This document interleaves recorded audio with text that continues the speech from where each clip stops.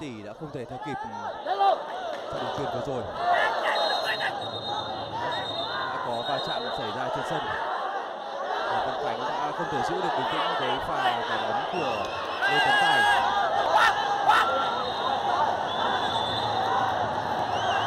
Rất căng thẳng. Sau pha quả bóng của mình thì Lê Tấn Tài đã có hành động xin lỗi huấn luyện viên Trần Minh Chiến cũng đã phải vào sân để làm giảm bớt những cái đầu nóng của các cầu thủ hai đội. Chúng ta cùng xem lại tình huống này. Tấn tài vào bóng cao chân đối với Hoàng Văn Khánh.